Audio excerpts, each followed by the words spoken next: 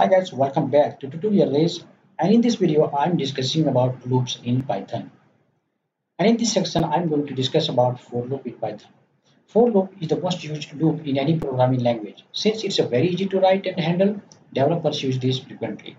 I myself work on C, C++, Java, PHP and other programming language also.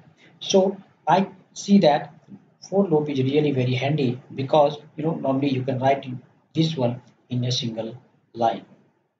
So in this video, we will see that how for loop works in Python. Now let's see. Here we have taken here colors then red, green, blue.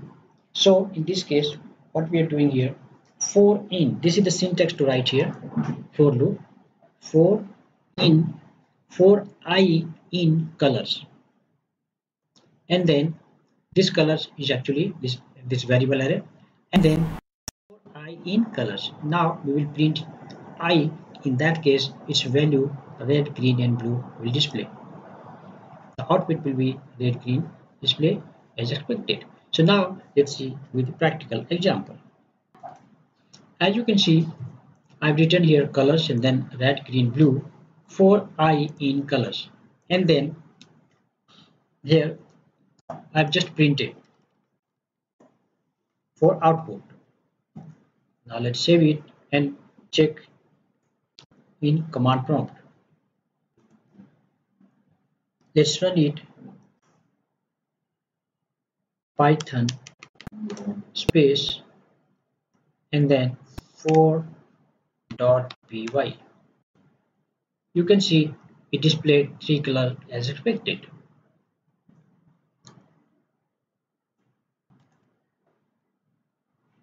Now we will see break statement in for loop.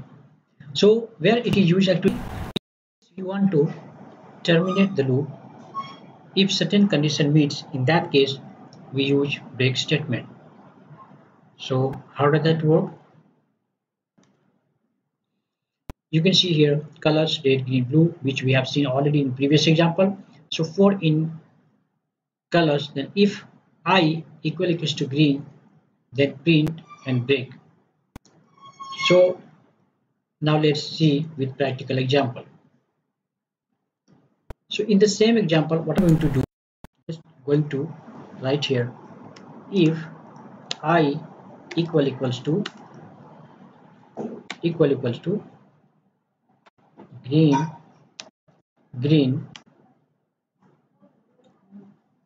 and then then break here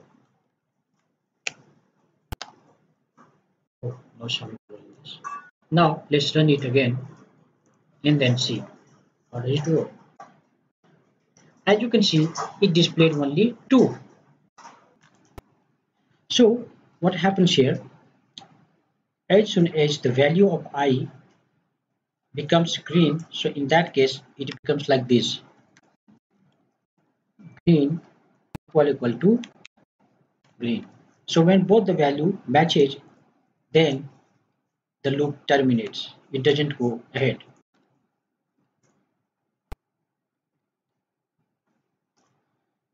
So that was the break statement. Now we will see continue statement.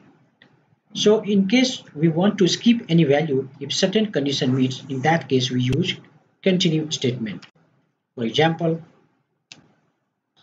here is once again the same example colors red green blue and then for i in colors. If that is actually step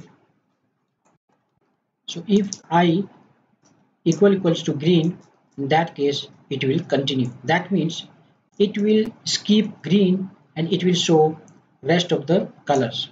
So in this case it will display red and blue. It won't display green because we have written here if the value of i is equal equal to green in that case it will continue. That means it will skip and the rest of the things it will show.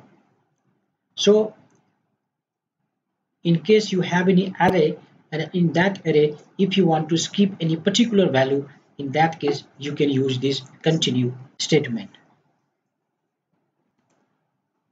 Now let's see with practical example simply change here continue. And then now let's run it. So as you can see it printed first red and then blue. It skipped green because we have written here condition. If i equal equals to green then it will continue. That means it will skip green and it will display rest of the elements. So you understand that how break and continue works. So in case of break what happens? In case of break what happens? The loop terminates there only. But in case of continue if you write continue if the condition uh, is met in that case it skips that element and it continues the loop continue to run skipping that value.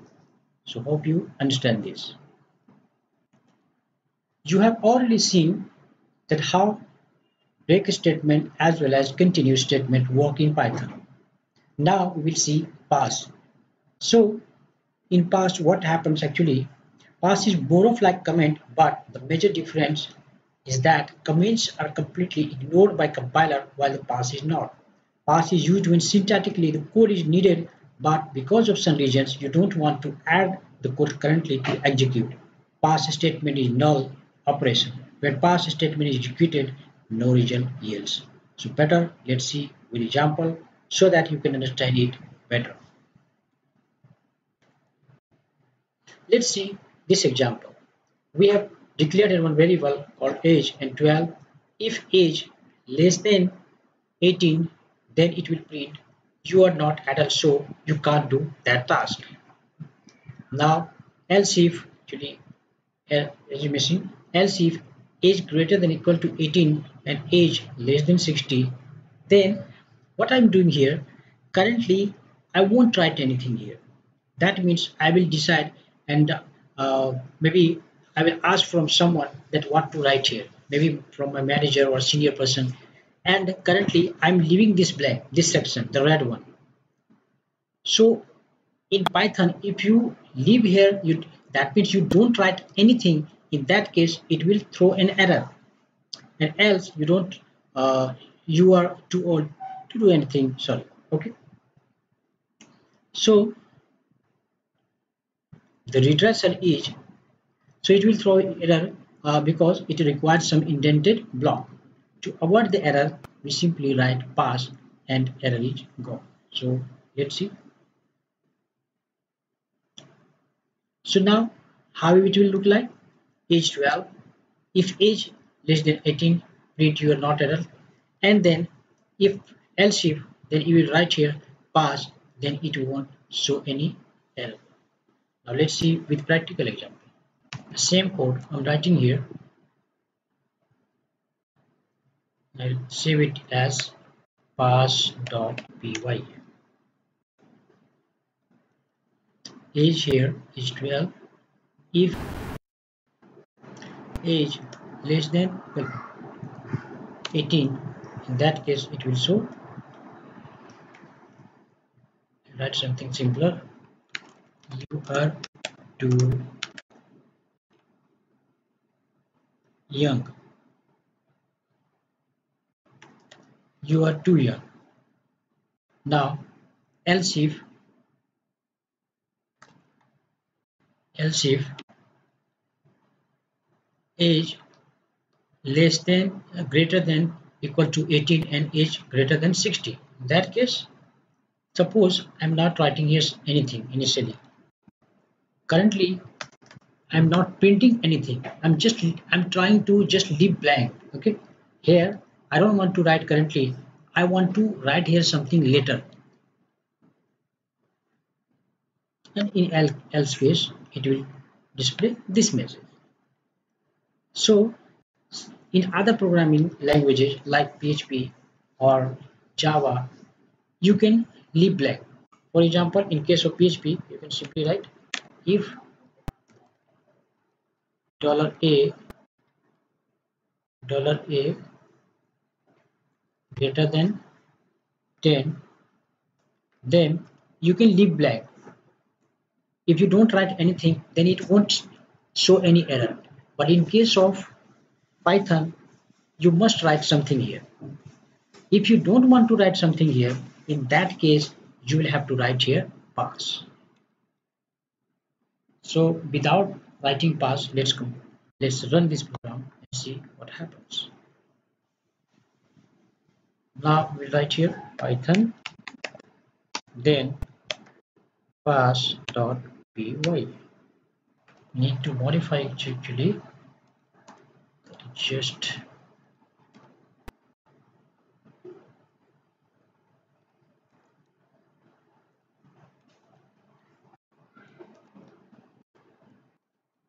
see age greater than 18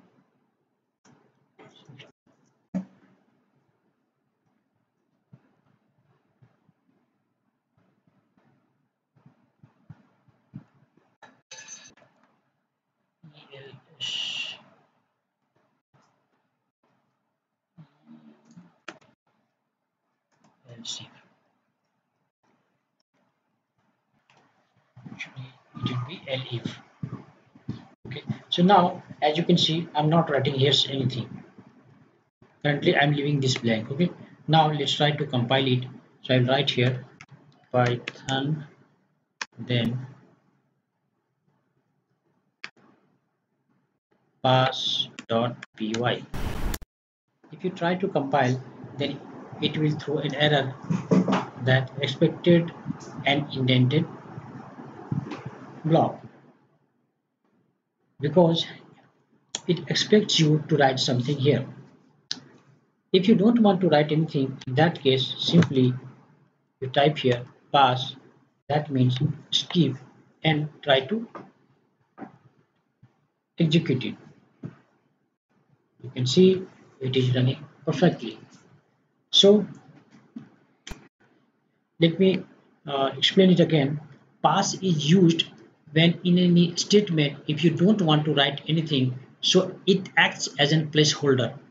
So currently you are just passing here you are just writing here this placeholder but later deleting, deleting this you can write something else. So in that case pass statement is used in the next video, we will discuss about range function as well as len function and how that works. So using range function, how we will uh, run the for loop, I will show you in the next video.